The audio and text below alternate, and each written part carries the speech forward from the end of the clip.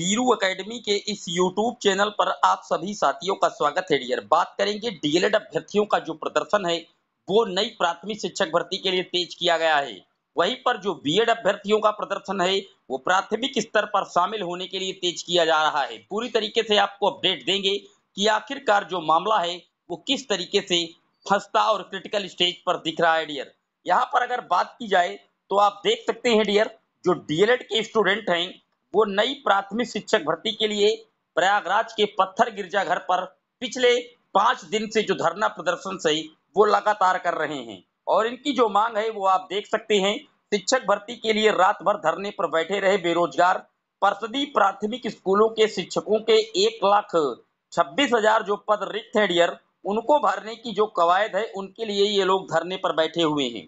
जैसा कि आप जानते हैं कि पिछले छह साल से बेसिक विभाग में उत्तर प्रदेश में कोई भर्ती नहीं की गई। और मामला पहले कहीं ना कहीं बीएड एलिजिबिलिटी को लेकर के बता दिया जाता था। क्योंकि माननीय सुप्रीम कोर्ट में एक एसएलपी लगी थी बीएड वर्सेस डीएलएड के केस के नाम से। लेकिन सर्वोच्च न्यायालय के द्वारा 11 अगस्त 2023 को उसका निस्तारण कर दिया गया था और बीएड को पीआरटी लेवल से हटा दिया गया था। उसके बाद जो डीएलएड के स्टूडेंट हैं, उन्होंने माननीय कोर्ट के आदेश के अनुक्रम के बाद जो सरकार है उस पर दबाव बनाने का कार्यक्रम शुरू किया। और नई प्राथमिक स्तर की शिक्षक भर्ती में जो रोड़ा था, सारे समाप्त हुए और उसको लेकर के जो धरना प्रदर्शन से वो लगातार कर रहे हैं।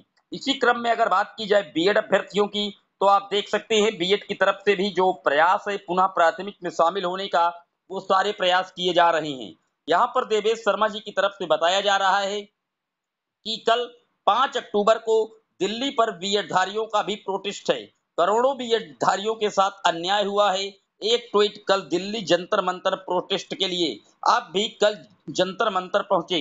तो आप देख सकते हैं, ये लेटर भी इन्होंने साथ में लगाया है। अगर सरसरी नज़र से इस लेटर में देखा जाए तो यहाँ पर कहीं ना कहीं जो डीसीपी सर हैं, उनको ये ज्ञापन दिया गया है दिल्ली में, और उन पर यही सारी चीज़ें बताई गई हैं कि हम शांतिपूर्वक लोकतांत्रिक तरीके से धरना प्रदर्शन करने जा रहे हैं, जो गजट एनसीटी का 28 जून 2018 वाला माननीय सुप्रीम कोर्ट के द्वारा इनवैलिडेट कर दिया गया है।